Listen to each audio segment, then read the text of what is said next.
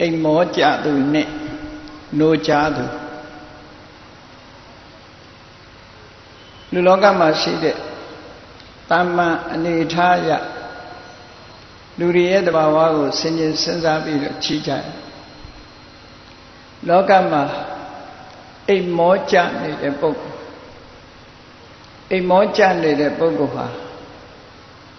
ဘာကိုမှမသိဘူး မသိရုံနဲ့မဟုတ်ဘူးအဲ့ဒီအချိန်မှာသူ့အတွက်စီပါဥစ္စာလည်းရမှာမဟုတ်ဘူးပညာလည်းရမှာမဟုတ်ဘူးအိပ်ဆက်နားလေခြင်းဖြင့်အချိန်တွေဟာကုံဆုံးပြီးတော့သွားဒါကပဂတိအိမ်မောကြနေတဲ့ပုဂ္ဂိုလ်တယောက်ကိုစဉ်းစားကြည့်ပေါ့ အိမ်မောကြနေတဲ့ပုဂ္ဂိုလ်ဟာဘာမှမသိသည့်အတွက်ကြောင့်သူ့အတွက်အဓိကပညာတိုးတက်မှုဆိုတာဘာမှမရှိဘူးဘာမှမရှိဘဲနဲ့အချိန်နေအလားတကုံဆုံးပြီးတော့သွားတယ်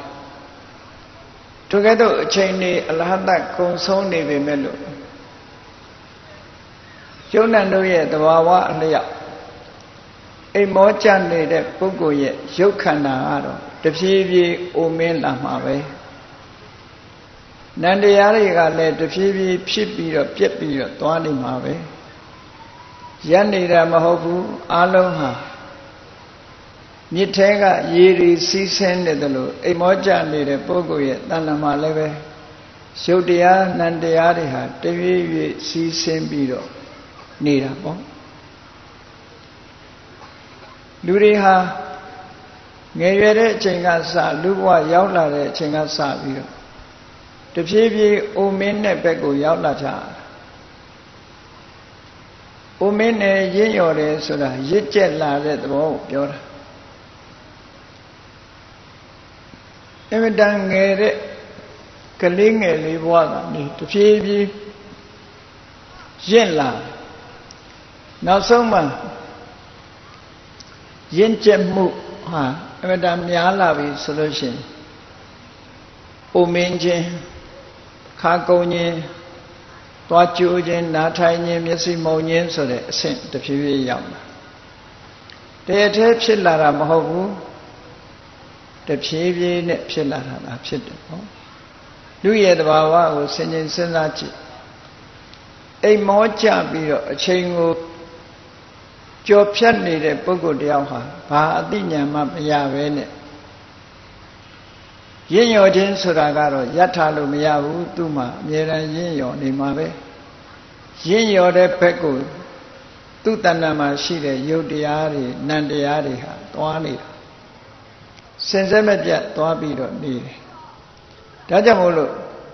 အိမ်မောကြနေတဲ့ပုဂ္ဂိုလ်အဖို့မှာရတဲ့ရတတ်တဲ့အသိပညာတွေဟာဆုံးရှုံးနစ်နာနေတယ်လို့ဒီလိုဆိုရမှာပဲဒါက ပဂတိအိမ်မောကြနေတဲ့ပုဂ္ဂိုလ်ကြည့်နိုးကြနေတဲ့ပုဂ္ဂိုလ်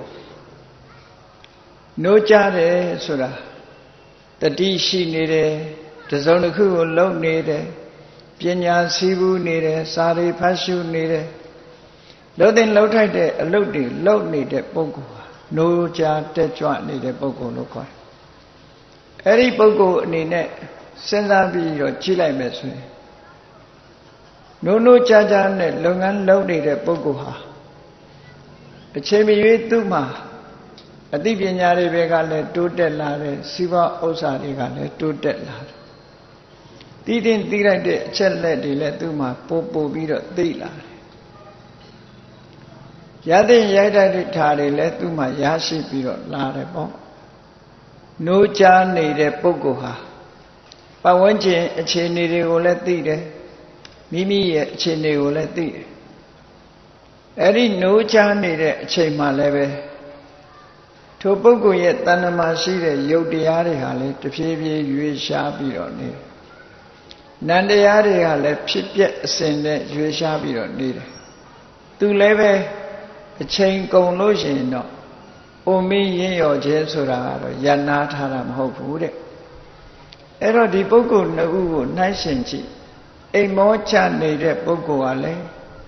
အိုမင်းရင်ရောမှာပဲနိုးချတက်ကြွနေတဲ့ပုဂ္ဂိုလ်ကလည်းအိုမင်းရင်ရောမှာပဲသို့တော့အိုမင်းရင်းရောသွားခြင်းတူပေမဲ့လို့အိမ်မောချနေတဲ့ပုဂ္ဂိုလ်ကတော့ဘာအသိပညာမှမရလိုက်ဘူးနိုးကြတက်ကြွနေတဲ့ပုဂ္ဂိုလ်ကတော့အချိန်နဲ့အမျှတပြေးညီအသိပညာတွေဟာသူ့မှာတိုးတက်လာ ဘုန်းကြီးတို့တွေဘယ်ပုဂ္ဂိုလ်မျိုးဖြစ်အောင်လုပ်ရမလဲဆိုတာစဉ်းစားကြရမှာပေါ့မြတ်စွာဘုရားကဟောထားတယ်မေ့လျော့သူနဲ့မမေ့လျော့သူဆိုတာလေကုသကောင်းမှုလုပ်ဖို့မေ့ပြီးတော့လောကမှာအာယုန်ဒီပေါ်လိုက်စားပြီးမြင်တဲ့အာယုံပေါ်မှာစိတ်ပျော်အောင်နေတယ်ကြားတဲ့အတန်နဲ့စိတ်ပျော်အောင်နေတယ် နမ်းရှူရတဲ့အနတ်လဲရတဲ့အရာသာထိတွေ့ရတဲ့ခန္ဓာကိုယ်ရဲ့အရာသာထိတွေ့ရတဲ့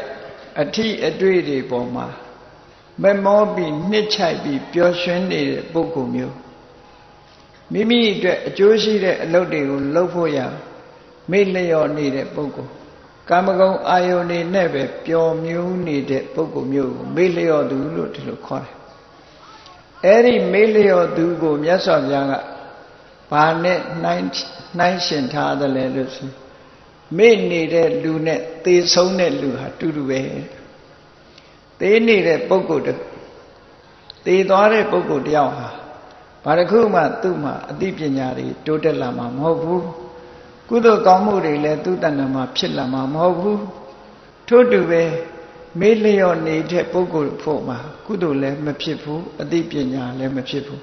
မဖြစ်တာချင်းတူတူပဲလို့ဒီလိုဆိုလို့ဒါကြောင့်မို့မြတ်စွာဘုရားက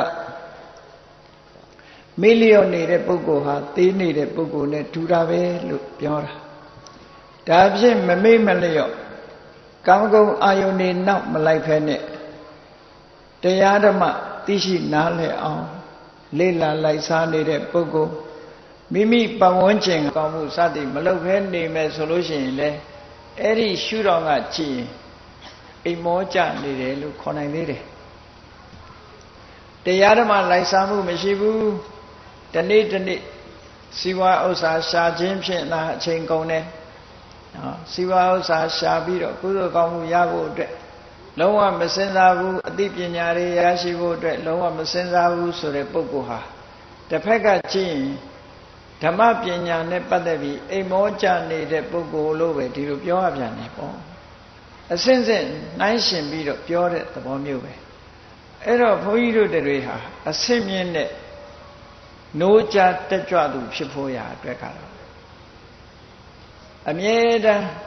လောကစီးပွားရှာတဲ့ထဲသာအချိန်ကို နှစ်မြုပ်မထားပဲနဲ့တရားဓမ္မကိုနာယူခြင်း တရားစာပေများကိုဖတ်ရှုခြင်းမိမိရဲ့တဏ္ဍမှာဓမ္မပညာများကိုစီးပူအားထုတ်ခြင်းကိုချင်းတရားကောင်းအောင်ကြိုးစားခြင်းစိတ်ကောင်းနှလုံးကောင်းရှိအောင်မိမိကိုပြင်ဆင်ပေးခြင်းဆိုတာမျိုးတွေလုပ်ကြရမှာဖြစ်တယ်ပေါ့လောကလူတွေဟာစိတ်နှလုံးကောင်းမှုအရေးကြီးတယ်စိတ်နေသဘောထားမှန်ကန်မှုအရေးကြီးတယ်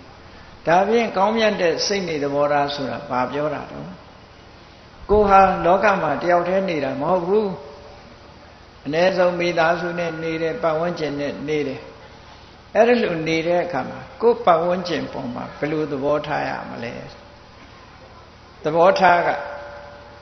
အများသိတဲ့စကားလုံးနဲ့ပြောရင်အလုံးကိုမေတ္တာထားနိုင်ရမယ်မေတ္တာဆိုတာဘာလဲမေတ္တာဆိုတာချမ်းသာကြပါစေချမ်းသာကြပါစေလို့ဒီလိုပြောနေတာမေတ္တာလားဆိုမဟုတ်ဘူးဟောဒါကမေတ္တာပို့နေတာလို့ပြောခြင်းပြော မေတ္တာဆိုဒီမှာမိမိရဲ့ပတ်ဝန်းကျင်ကပုဂ္ဂိုလ်တွေကြီးပွားတိုးတက်စေခြင်းနဲ့စိတ်ဓာတ်ပဲသူတို့ရဲ့ကြီးပွားတိုးတက်မှုပညာတတ်စေခြင်းနဲ့စီပါဥစ္စာတွေတိုးတက်စေခြင်းနဲ့အသိဉာဏ်တွေကျွယ်ဝစေခြင်းနဲ့ကုသိုလ်တရားတွေများများရစေခြင်းနဲ့ဒါမေတ္တာစိတ်ချမ်းသာကိုချမ်းသာတဲ့ဘဝမှာအောင်မြင်မှုကိုရစေခြင်းနဲ့အဲ့ဒါကိုမေတ္တာလို့ခေါ်တာနော် အဲ့ဒီမေတ္တာစိတ်ဓာတ်မျိုးထားနိုင်ဖို့လိုတယ်လောကလူတွေမြန်မာလူမျိုးတွေမေတ္တာတော့ပို့ကြတယ်သဗ္ဗေတ္တအဝေရာဟောတုမေတ္တာတော့ပို့ကြတာပို့ပြီမဲ့လို့တကယ်ကြတဲ့အခါကျမေတ္တာကဆူရောက်မှုကမရှိဘူးလေမေတ္တာဆူရောက်မှုကပို့တဲ့အချိန်လေးပဲကြံတဲ့အချိန်မှာပတ်ဝန်းကျင်အပေါ်မှာဘာလုပ်လဲကောင်းစားလာလို့ရှိရင်မကျေနပ်နိုင်တဲ့အနေအထားမျိုးတွေဖြစ်လာ တူတူအကောင်းကောင်းလာရင်မနာလိုတာတွေဖြစ်လာတတ်တကယ်မေတ္တာရှိလာပြီဆိုရင် လူတွေအားလုံးပေါ်မှာကြီးပွားတိုးတက်စေခြင်းနဲ့စိတ်ဟာခိုင်မာရှိရခိုင်မာရှိရမေတ္တာဆိုဒီမှာမိတ်ဆွေတွေရဲ့စိတ်ဓာတ်လို့အဓိပ္ပာယ်ပြတယ်မိတ်ဆွေတွေရဲ့စိတ်ဓာတ်ဆိုတာမိမိတို့ရဲ့မိတ်ဆွေတငယ်ချင်းတွေအပေါ်မှာကြီးပွားစေခြင်းနဲ့ပျော်ရွှင်စေခြင်းနဲ့အောင်မြင်စေခြင်းနဲ့ကြီးပွားတိုးတက်စေခြင်း အဲ့ဒီစိတ်ဓာတ်မျိုးကိုမေတ္တာလို့ခေါ်အဲ့ဒီစိတ်ဓာတ်တွေကိုအခိုင်အမာထားနိုင်ရမိမိမိတ်ဆွေပဲဖြစ်စေမိမိရဲ့မသိတဲ့ပုဂ္ဂိုလ်ပဲဖြစ်စေမိမိနဲ့အစမပြေတဲ့ပုဂ္ဂိုလ်ပဲဖြစ်စေဘယ်ပုဂ္ဂိုလ်ပဲဖြစ်စေကြီးပွားကြပါစေတိုးတက်ကြပါစေအောင်မြင်ကြပါစေဆိုတဲ့အကျိုးစီးပွားကိုလိုလားတဲ့စိတ်ကိုမိမိရဲ့တဏ္ဍာမှာအခိုင်အမာတည်ဆောက်နိုင်ရမယ်ဒါစိတ်နေသဘောထားတစ်ခုဟုတ်ပြီ မေတ္တာစိတ်ကိုအခိုင်အမာတည်ဆောက်ပြီးတော့အလုံးကြီးပွားမှုကိုမျှော်လင့်တယ်အဲ့ဒါလို့မိမိအလုံးကြီးပွားမှုကိုမျှော်လင့်တဲ့အထဲမှာတချို့ပုဂ္ဂိုလ်တွေဟာအောင်မြင်မှုမရဘူးကြာရှုံးသွားကြတယ်ဆင်းရဲဒုက္ခတွေနဲ့ကြုံရတယ်ပြဿနာတွေနဲ့ကြုံရတယ်ပြဿနာဆိုတာကျမ်းမာရေးပြဿနာရှိတယ်စီးပွားရေးပြဿနာရှိတယ်လူမှုရေးပြဿနာရှိတခုခုနဲ့အခက်အခဲတွေကြုံပြီးတော့အစင်မပြေတဲ့ပုံကိုယ်တွေတွေ့လာလို့ရှိရင် ကျင်နာတနာခြင်းဆိုတဲ့ကရုဏာစိတ်ကောင်းသဘောထားစိတ်နေသဘောထားတစ်ခုပဲပေါ့အကျဉ်းတရားထားနိုင်ရမယ်ကူညီခြင်းနဲ့စိတ်ရှိရမယ်ဖေးမပေးခြင်းနဲ့စိတ်ရှိရဒါကကရုဏာလို့ခေါ်တယ်အခက်ခဲတွေကလွန်မြောက်ပါစေလို့စိတ်ထဲမှာထားတခါတစ်ဖက်ကကိုအကျိုးစီးပွားလိုလားတဲ့ကိုယ့်ရဲ့ပတ်ဝန်းကျင်ကပုံကိုယ်တွေဟာသူတို့ကိုယ်တိုင်ကြိုးစားလို့စနစ်တကျအားထုတ်ကြလို့ အောင်မြင်ကြီးပွားလာတယ်ကိုယ်အစင်မကဘူးတာလွန်ပြီးတော့ကြီးပွားတိုးတက်သွားတယ်ဆိုလို့ရှိရင်အဲ့ဒီအချိန်မှာဝမ်းတာနိုင်တဲ့မုရိတာဆိုတာရှိရအဲ့ဒါမရှိနိုင်ဘူးဆိုဘာဖြစ်လဲ jealousy ဖြစ်လာအပြစ်ပြောလာတယ်မလိုမုန်းတာတဲ့စကားတွေပြောလာတယ်ဆိုလို့ရှိရင်စိတ်ကောင်းနှလုံးကောင်းမရှိဘူးလို့ခေါ်ရတယ်မုဒိတာပွားနိုင်ရမယ်မုဒိတာပွားတယ်ဆိုတာအေးသူစူးစမ်းလို့အောင်မြင်လာတာ ကောင်းလိုက်တာဆက်ပြီးတော့အောင်မြင်မှုတွေရကြပါစေလို့ဆိုတဲ့စိတ်ထက်ခိုင်မာတိဆောက်ထားနိုင်ကြဒါဟာကောင်းမြတ်တဲ့စိတ်နေသဘောထားလို့ခေါ်တယ်မေတ္တာကကြီးပွားစေခြင်းတာကရုဏာကအစင်မပြေတဲ့ပုဂ္ဂိုလ်ကိုတနာတာဖေးမတာငဲ့ညာတာမုရိတာကအစဉ်ပြေအောင်မြင်ကြီးပွားသွားတဲ့ပုဂ္ဂိုလ်တွေအတွက်ဝမ်းသာနိုင်တာလို့ကိုယ့်ကိုစဉ်းစားကြည့် ဒီတဘာဝတရားတွေကိုယ်တဏ္ဍမှာတကယ်ရောခိုင်ခိုင်မာမာရှိရလားစဉ်းစားမရှိသေးရင်ရှိအောင်တည်ဆောက်နိုင်ရအဲ့ဒါလို့ရှိအောင်တည်ဆောက်နိုင်လာပြီဆိုရင်အိမ်မောကြနေတဲ့ပုဂ္ဂိုလ်မဟုတ်ဘူးနိုးကြတက်ကြွလာတဲ့ပုဂ္ဂိုလ်ပဲစိတ်ကောင်းနှလုံးကောင်းနေဖြစ်လာတယ်အဲ့တော့နောက်တစ်ခုကဘာလို့အပ်လာလဲဆိုလို့ရှိရင်လူဟာ ကိုနဲ့ယဉ်နှီးတဲ့ပုဂ္ဂိုလ်ကြတော့တစ်မျိုးမယဉ်နှီးတဲ့ပုဂ္ဂိုလ်ကြတော့တစ်မျိုးကိုမိတ်ဆွေကြတော့တစ်မျိုးကိုနဲ့မတည့်တဲ့ပုဂ္ဂိုလ်ကြတော့တစ်မျိုးအမျိုးတော်တဲ့ပုဂ္ဂိုလ်ရရင်တစ်မျိုးအမျိုးမတော်တဲ့ဒစိမ့်တရားကြတော့တစ်မျိုးလို့ဆိုပြီးတော့လူတွေဟာဒီလမ်းကြောင်းကနေစောင်းကြတတ်တယ်ဟောတကယ်တိမှတ်ရမယ်လမ်းကြောင်းကမဖြောင့်တန်းကြဘူးဘက်လိုက်တတ်တဲ့သဘောတွေရှိလာတတ်တယ် အဲ့ဒါလို့မရှိဘဲနဲ့လမ်းကြောင်းဖြတ်မှတ်ပြီးမုန်းတဲ့ပုဂ္ဂိုလ်ပဲဖြစ်စေချစ်တဲ့ပုဂ္ဂိုလ်ပဲဖြစ်စေဘယ်ပုဂ္ဂိုလ်ပေါ်မှာပဲဖြစ်စေတည်ငြိမ်တဲ့စိတ်နေသဘောထားထားနိုင်ရမယ်အားလုံးဟာသူကံနဲ့သူကြီးပွားသွားတဲ့ပုဂ္ဂိုလ်တွေပဲလို့ကိုယ်ပေါ်မှာမတော်တဆမတော်တခုလောက်လာပြန်လို့ရှိရင်လည်းပဲခွင့်လွတ်နိုင်တဲ့အရာဖြစ်ရမယ်အဲ့ဒါလို့ ခွင့်လွတ်ခြင်းသိခံခြင်းဆိုတာ ਨੇ ကိုယ်စိတ်တည်ငြိမ်မှုရအလုံးဟာတတ္တဝါတွေဟာကံတိုင်းဖြစ်ကြတာလို့ဆိုပြီးတော့ဘယ်တတ္တဝါကိုအပေါ်မှာဖက်လိုက်တာမျိုးမရှိဘူးဆိုတာကိုဥပိ္ပခာလို့ခေါ်တယ်ဒီကနေ့ခေတ်လူတွေနားလည်နေတဲ့ဥပိ္ပခာကမတဲ့လို့မခုံမပြောတဲ့ဥပိ္ပခာမျိုးဖြစ်တယ်အဲ့ဒါလို့ဆိုလိုတာမဟုတ်ဘူးဥပိ္ပခဆိုတာဒီပုဂ္ဂိုလ်ပေါ်ကတစုံတစ်ခုအကျိုးကိုမျှော်လင့်ချက်မထားပဲနဲ့ လှုပ်တဲ့လှုပ်ထားဥပိ္ပခာဒီလိုဆိုတာအေးမေတ္တာကရုဏာမုရိဒာဥပိ္ပခာဆိုတဲ့ပြမစုံတရားတွေဟာမွန်မြတ်တဲ့စိတ်နေသဘောထားတွေပဲဖြစ်တယ်လူဘဝရလာလို့ရှင်မွန်မြတ်တဲ့စိတ်နေသဘောထားတွေထားနိုင်အောင်ကြိုးစားအထောက်ရမယ်လို့ဒီလိုဆိုတာပေါ့နော်အဲ့တော့အထက်ဆုံးအမြင့်ရောက်လာတဲ့အခါမှာပြန်ပြီးတော့စဉ်းစားကြည့်စဉ်းစားကြည့်နိုင်ရမယ်ဘ ယ်လိုစဉ်းစားကြည့်ရမလဲအိမ်မောကြနေတာဘယ်လိုပုဂ္ဂိုလ်ဟာလောကမှာအိမ်မောကြနေတာလဲအစင်းမြင့်အနေနဲ့ကြည့်ဘယ်လိုပုဂ္ဂိုလ်ဟာနိုးချနေတဲ့ပုဂ္ဂိုလ်ဖြစ်တယ်လဲဆိုတာစင်းမြင့်အနေနဲ့စဉ်းစားကြည့်ရ950စဏိဘတ်တော်ထဲမှာဇာဂရဇတ်ဆိုတာရှိတယ်အဲ့ဒီဇာဂရဇတ်မှာဒီ နိုးကြနေတဲ့ပုဂ္ဂိုလ်နဲ့အိမ်မောကြနေတဲ့ပုဂ္ဂိုလ်နှစ်ဦးကိုနှိုင်းရှင်ပြီးတော့ရှင်းလင်းဖော်ပြထားတဲ့စကားလေးတွေဟာမှတ်သားစရာကောင်းတယ်ပေါ့950ထဲမှာ414ဇာမြောက်ဖြစ်တဲ့ဇာဂရနိုးကြခြင်းဆိုတဲ့အတိပ္ပယ်ရတဲ့စကားလုံးအဲ့ဒီစကားလုံးနဲ့ဖော်ပြထားတဲ့ဇာဂရဇတ်ဆိုတာရှိတယ်အဲ့ဒီဇာဂရဇတ်လာမှတ်သားပွဲလေးတွေကိုမှတ်သားပြီးတော့ တို့တွေမြတ်စွာဘုရားအဆုံးအမနဲ့ပတ်သက်ပြီးတော့ဘယ်လိုလိုက်နာကျင့်သုံးကြရမယ်ဆိုတာမှတ်သားပြီးတော့အဆုံးအမတိုင်လိုက်နာကျင့်သုံးနိုင်ဖို့ပါတရားဆိုတာနာယုံနာပြီးတော့အသုံးမပြုဘူးဆိုလို့ရှိရင်တန်ဖိုးမတက်ဘူးနာလဲနာရမယ်မှတ်လဲမှတ်ရမယ်မှတ်သားထားပြီးတဲ့အခါရှောင်ရံဆောင်ရံတဲ့ကရှောင်ရံကိုရှောင်ခြင်းဆောင်းတာဆောင်းတဲ့နဲ့ဟာကိုဆောင်းခြင်းဆိုတာလက်တွေ့ကျင့်သုံးမှုလို့ခေါ်တယ် အဲ့ဒီလက်တွေ့ကျင့်သုံးမှုပြုမှတရားကကိုယ်ပြန်ပြီးတော့အကျိုးပြုမှာဖြစ်တယ်ပေါ့အေးဒါကြောင့်မို့အခုဒီဇာကရ14မှာအဗ္ဗဒန်ထူးခြားတဲ့စကလုံးလေးတွေရှိတယ်ပေါ့ဒီမှာဖရာလောင်းတော်ဟာအမျိုးကောင်းသားတဦးဖြစ်ပြီးတော့ဗာရဏသီမှာအမျိုးကောင်းသားတဦးဖြစ်ခဲ့ဖြစ်ပြီးတဲ့အခါမှာ ဘာလုပ်လဲလို့ဆိုတော့လူလောကကြီးစီးပွားရှာတဲ့အလုပ်နဲ့အိမ်တော်ပြုတဲ့အလုပ်ကိုရှောင်ပြီးတော့ဟိမွန်တာတောင်ဘက်ကိုချင်းကပ်ပြီးယသိဟန်ပြုခဲ့ယသိယံဝေါ်လာပြီးတဲ့အခါမှာဇန်တရားရအောင်သမထကျင့်စဉ်ကိုချင်းကြံကြိုးကိုအထုတ်တာနောက်ဆုံးမှာယသိဘဝနဲ့ဇံရယသိတူဖြစ်လာတယ်ပေါ့အဲ့ဒီဇံရယသိဖြစ်လာတဲ့အခါမှာ မအိပ်မနေဇံဝင်စားမှုနဲ့သူ့တဏ္ဍာမှာကောင်းမြတ်တဲ့အည်သွေးတွေဖြစ်ပေါ်လာအောင်ကုသိုလ်ရေးနဲ့ပတ်သက်ပြီးတော့ကြိုးစားအားထုတ်နေတာအဲ့ဒါလို့ကြိုးစားအားထုတ်နေတဲ့ဇံရယသိကြီးဟာတစ်ပင်တပင်ရဲ့အောက်မှာ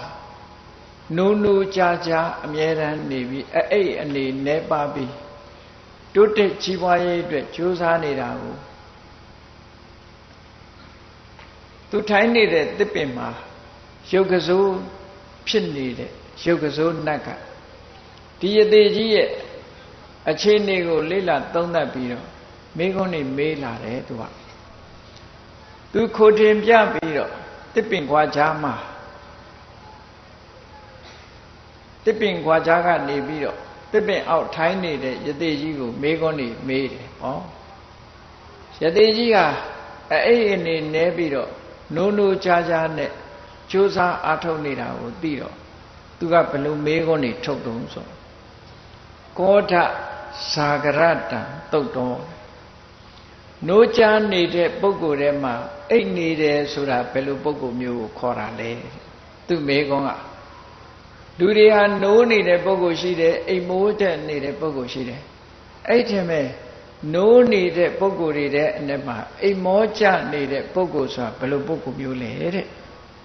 ဒီမေခွန်းတစ်ခုမေးနောက်ဒုတိယမေခွန်းကဘာတော့ဆိုရင်နော်ဒုတိယမေခွန်းကဒီအိမ်မောကြနေတဲ့ပုံကိုယ်တွေထဲမှာနော်နိုးကြားနေတယ်ဆိုတဲ့ပုံကိုယ်မျိုးကဘယ်ပုံကိုယ်လဲလို့ဟောဒီမေခွန်းတစ်ခု နိုးကြနေတဲ့ပိတ်ကိုယ်တဲ့ပုတ်ပုတ်ကိုယ်ထဲမှာအိမ်မောကြနေတဲ့ပုဂ္ဂိုလ်ဆိုတာဘာလို့လဲအိမ်မောကြနေတဲ့ပုဂ္ဂိုလ်တွေထဲမှာနိုးကြနေတဲ့ဆိုတဲ့ပုဂ္ဂိုလ်ကဘာလို့လဲအဲ့ဒီနှစ်ခုသိချင်ပါတယ်အဲ့ဒီနှစ်ခုပြောပြနိုင်မလားလို့ယသိကြီးကိုမေးတယ်မေးတဲ့အခါကျတော့ယသိကြီးကဖြေတယ်သူဖြေပုံလေးကငါဟာ နိုးချနေတဲ့ပုဂ္ဂိုလ်တွေထဲမှာတဲ့နိုးချနေတဲ့ပုဂ္ဂိုလ်တွေထဲမှာအိမ်မောကြနေတာဆိုတာကိုငါ့ကိုခေါ်နိုင်ပါတယ်တဲ့တခါငါ့ကိုပဲအိမ်မောကြနေတဲ့ပုဂ္ဂိုလ်တွေတဲကနိုးချနေတဲ့ပုဂ္ဂိုလ်လို့လည်းခေါ်နိုင်တယ်အယသိကြီးကနှစ်ခွဖြေထားတာသူဟာအိမ်မောချနေတဲ့ပုဂ္ဂိုလ်လည်းဟုတ်တယ်နိုးချနေတဲ့ပုဂ္ဂိုလ်လည်းဟုတ်တယ် တခြားပုဂ္ဂိုလ်ကိုမပြောဘူးသူ့ကိုယ်သူပြောတယ်ငါဟာနိုးချနေတဲ့ထဲမဲ့အိမ်မောချနေတဲ့ပုဂ္ဂိုလ်နော်နိုးချနေတဲ့ထဲမဲ့အိမ်မောချနေတဲ့ပုဂ္ဂိုလ်ဆိုတာငါပဲအိမ်မောချနေတဲ့ပုဂ္ဂိုလ်တွေတဲကနိုးချနေတဲ့ပုဂ္ဂိုလ်ဆိုတာလဲငါပဲတဲ့ဒီလိုရုပ်ကစိုးတတ်ကြီးကိုဖြေလိုက်တဲ့အခါ ရုပ်ကစိုးတတ်ကြီးကစဉ်းစားတယ်သူဟာတခါတည်းနဲ့နိုးချနေတဲ့ပုဂ္ဂိုလ်လည်းဟုတ်တယ်အိမ်မောချနေတဲ့ပုဂ္ဂိုလ်လည်းဟုတ်တယ်ဆိုတာဘယ်လိုအထိပ္ပယ်နဲ့သူပြောတာလဲသိကျင်တဲ့စိတ်တွေဖြစ်လာသိကျင်တဲ့စိတ်တွေဖြစ်လာတဲ့အခါကျတော့နောက်ထပ်မေးခွန်းတစ်ခုထပ်မေးလိုက်တယ်သူကကထံဇာကရတာတုတ်တော် နိုးချနေတဲ့ပုဂ္ဂိုလ်ထဲမှာအိမ်မောချနေတယ်ဆိုတာဘယ်လိုဟာကိုပြောတာလဲအဲ့တော့ဘုန်းကြီးတို့တွေအမှတ်တမဲ့နေလို့ရှိရင်ကိုယ့်ကိုယ်အိမ်မောချနေတာလားနိုးချနေတာလားပြောနိုင်မှာမဟုတ်ဘူးသို့သောယတိကြီးကတော့သူ့ကိုယ်သူဆန်းစစ်တဲ့ပုဂ္ဂိုလ်ဆိုတော့ဒီမေခွန်းလေးရဲ့အဖြေကိုသူဖြေနိုင်တယ် အဲ့တော့ယုတ်ကစိုးနတ်ကဆက်မေးတာကထံဇာကရတံတုတ်တော်နိုးချနေတဲ့ပုဂ္ဂိုလ်တွေတဲ့အ내မှာအိမ်မောချနေတယ်ဆိုတာဘယ်လိုဟာကိုပြောတာလဲတဲ့ကထံတုတ်တေသူဇာကရောအိမ်မောချနေတဲ့ပုဂ္ဂိုလ်တွေထဲမှာ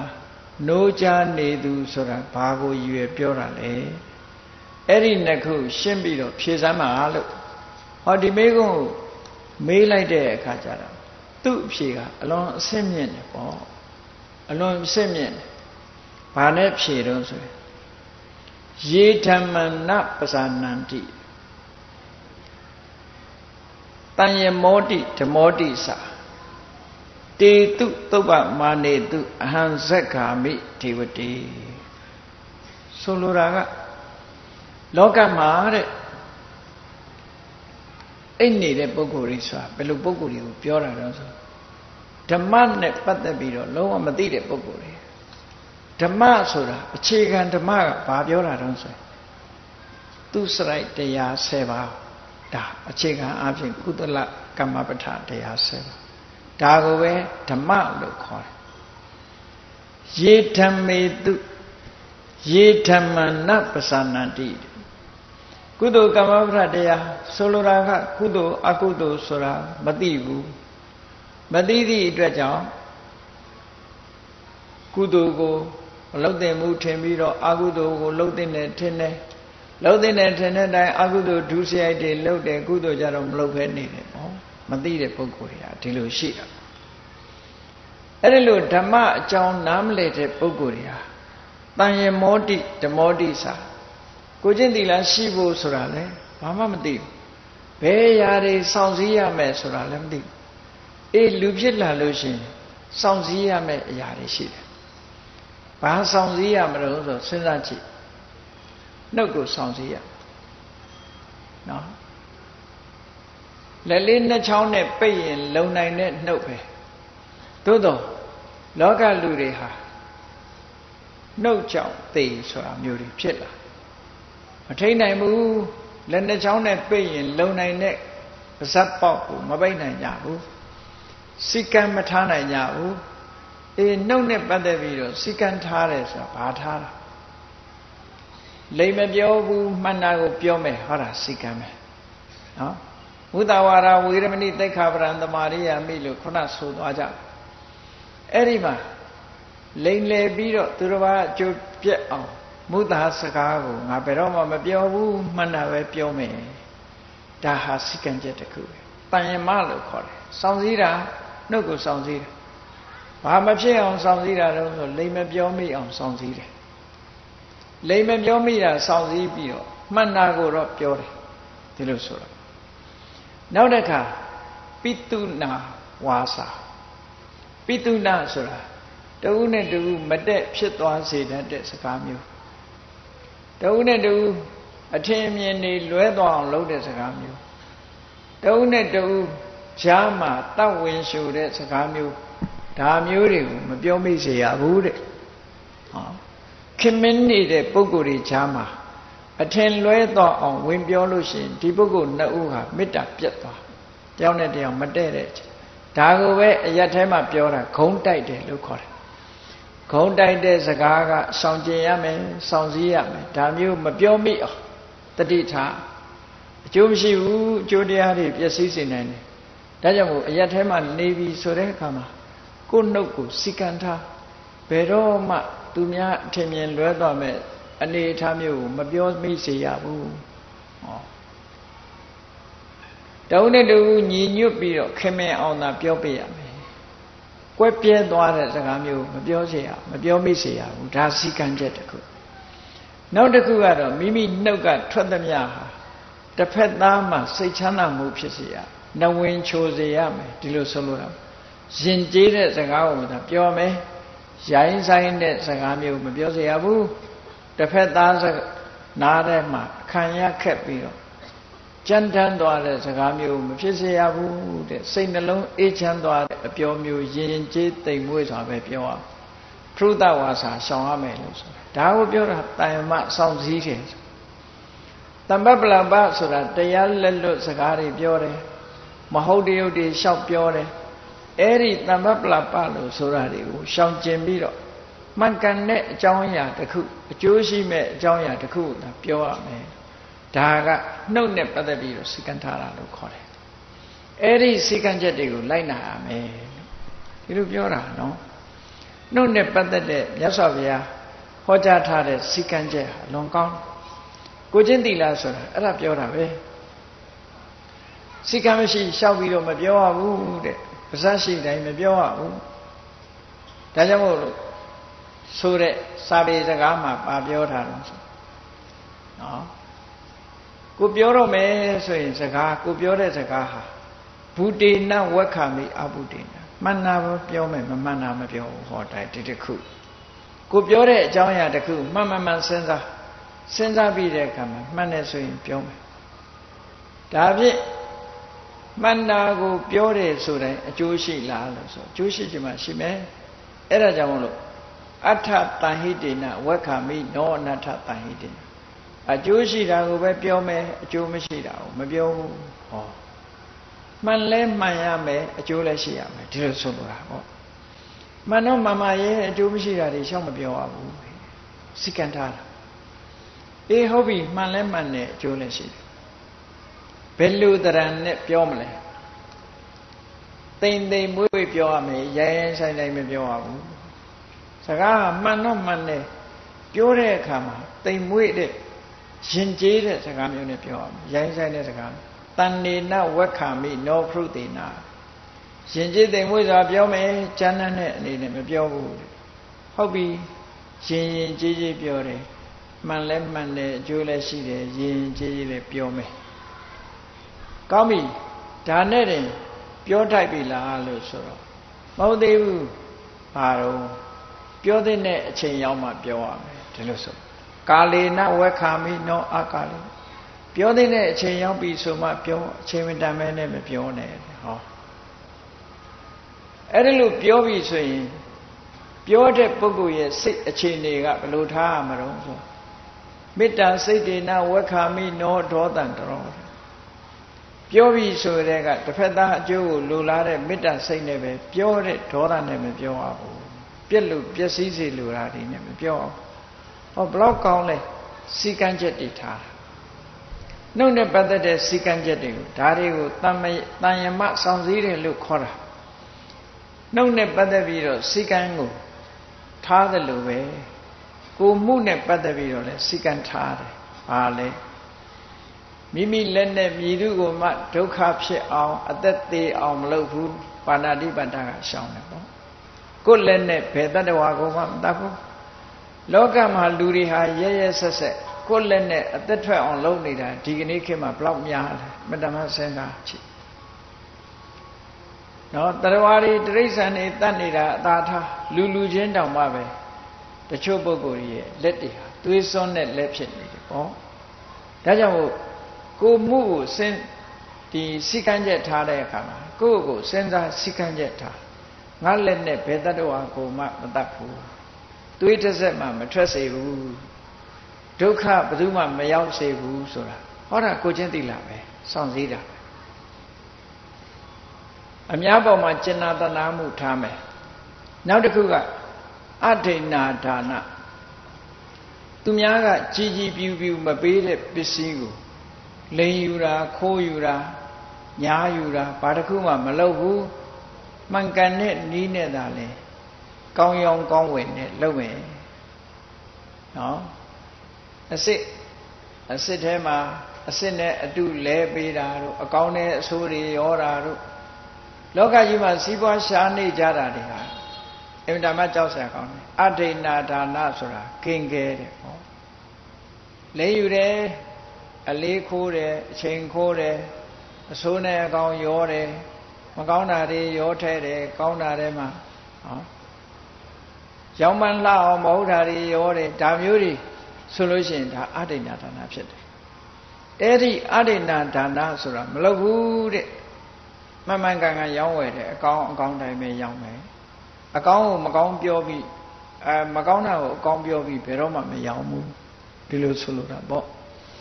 အဲ့တော့ဒါလည်းပဲကိုမှုနဲ့ပတ်သက်ပြီးစိကံထားနောက်တစ်ခုကဘာလို့ဆိုအရက်ထဲမှာသူ့မိသားစုကိုမိသားစုရှိတယ် စိကံဆိုတာရှိတယ်ကိုမိသားစုကိုကာယကံမြောက်လားစော်ကားမယ်ဆိုရင်ဘယ်သူမှလက်မခံဘူးသူ့မိသားစုကိုလည်းကာယကံမြောက်စော်ကားမယ်ဆိုရင်လက်ခံနိုင်မှာမဟုတ်ဘူးဒါကြောင့်မို့လို့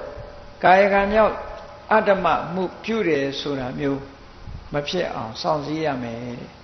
ဒါဟာတန်ယမလို့ခေါ်တယ်ဟောဘလောက်ကောင်းတဲ့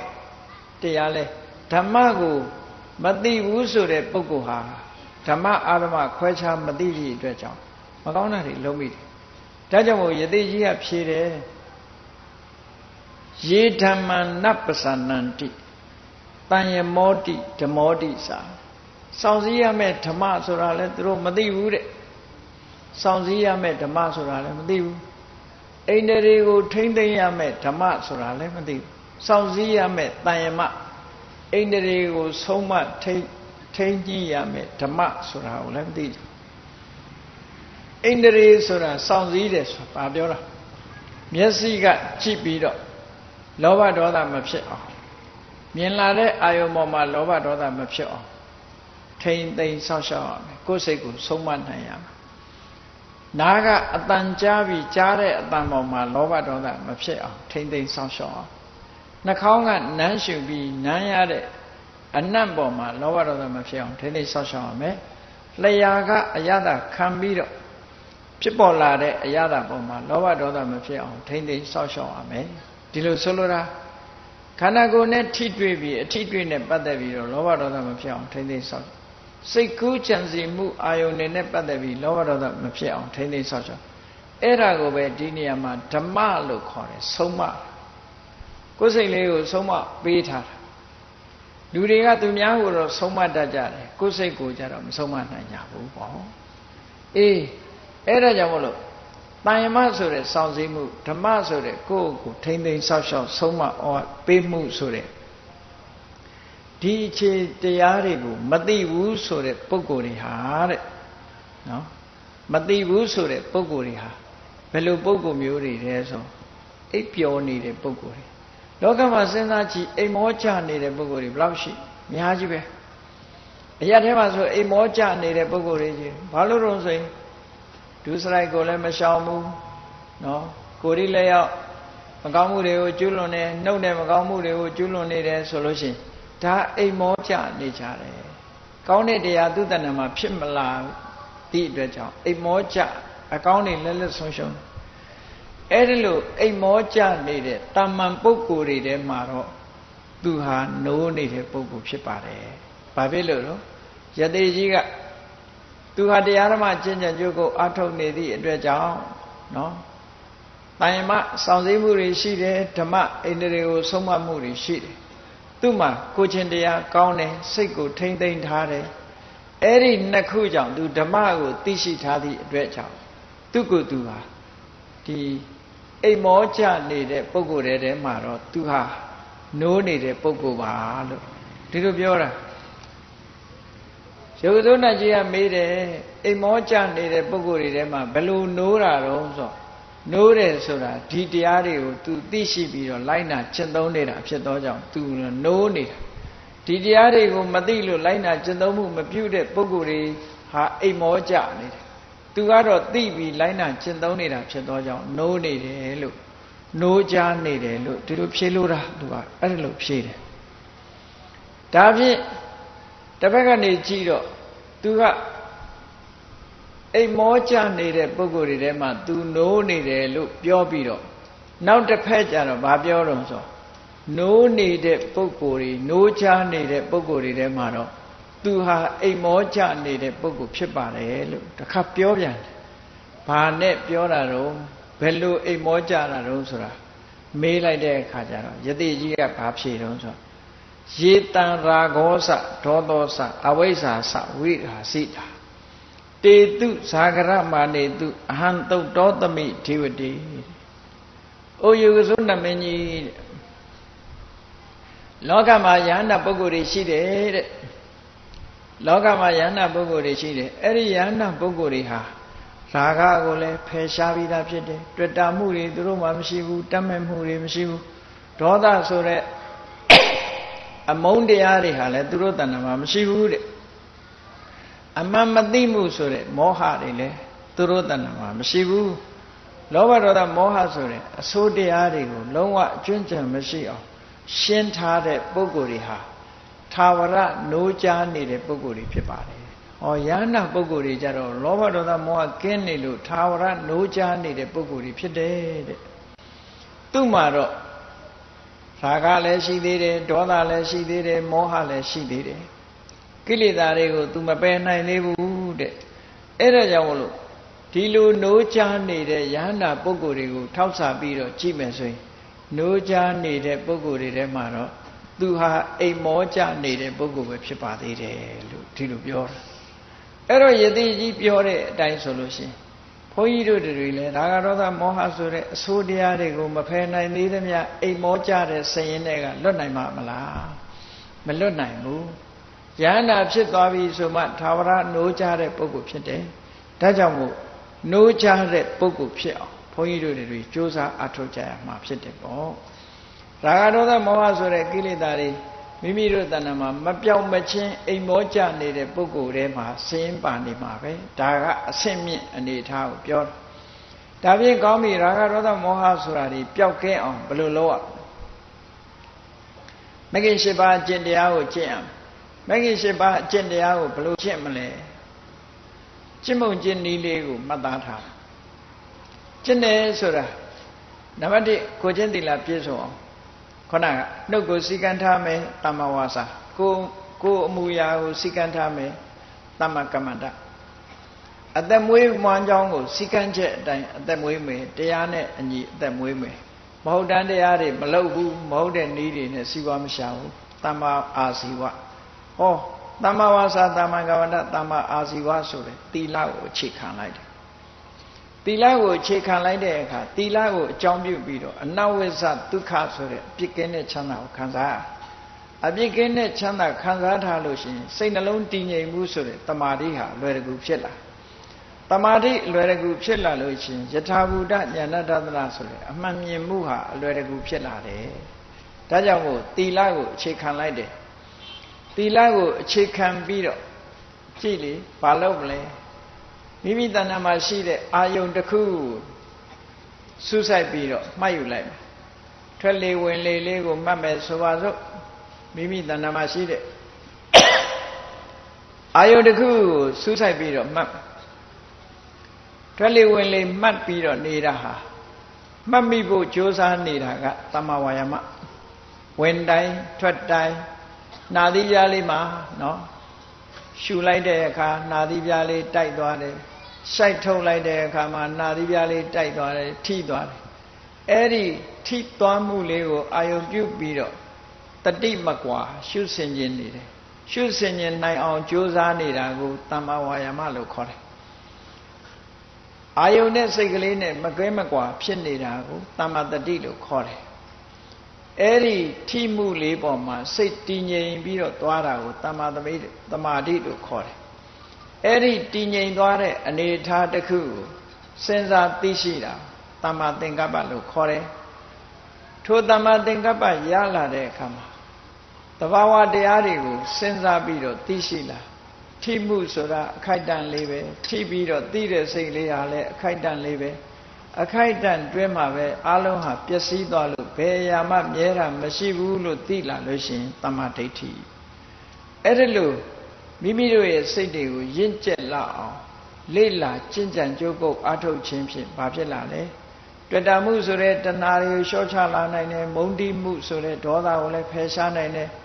အမှန်မသိမှုဆိုတဲ့မောဟကိုလည်းဖယ်ရှားနိုင်တယ်အဲ့ဒီလောဘဒေါသမောဟဆိုတဲ့ ဒီတရားတွေကိုမဂ္ဂင်၈ပါးအကျင့်တရားကျင့်ကြံကြိုးကုပ်အားထုတ်ခြင်းဖြင့်ဖယ်ရှားလိုက်ပြီဆိုရင်ကိလေသာအသွားတွေကင်းကွာတဲ့လုံးဝနိုးကြတဲ့ယဟန္တာဖြစ်သူရောက်သွားမှဘုန်းကြီးတို့တွေဟာအိမ်မောကြသူဘဝမှာလွတ်မြောက်မှာဖြစ်တယ်ပေါ့အေးဒါကြောင့်မို့တရားချစ်ခင်သူတော်စင်ပြိဿအပေါင်းတို့ဘုရားမြတ်စွာသာသနာတော်နဲ့ကြုံတွေ့နေတဲ့အချိန်မှာမိမိတို့ကိုမိမိတို့ပြန်လီဆင်ခြင်စဉ်းစားပြီးတော့ အဆင့်ဆင့်နှလုံးသွင်းတဲ့အခါမှာတို့ဟာအိမ်မောကြနေတဲ့ပုဂ္ဂိုလ်တွေလားနိုးကြနေတဲ့ပုဂ္ဂိုလ်တွေလားအကယ်၍အိမ်မောကြနေတဲ့အဆင့်ဟာဘယ်အဆင့်လဲနိုးကြနေတယ်ဆိုရင်လည်းဘယ်အဆင့်လဲအဆင့်အမြင့်ဆုံးနိုးကြသူဖြစ်အောင်ဘုန်းကြီးတို့တွေဟာကြိုးစားအားထုတ်ကြရမှာဖြစ်တယ်လို့ကိုစီကိုစီသဘောကျပြီးကျင့်ကြံကြိုးကုပ်အားထုတ်နိုင်ကြပါစေကုန်သတည်း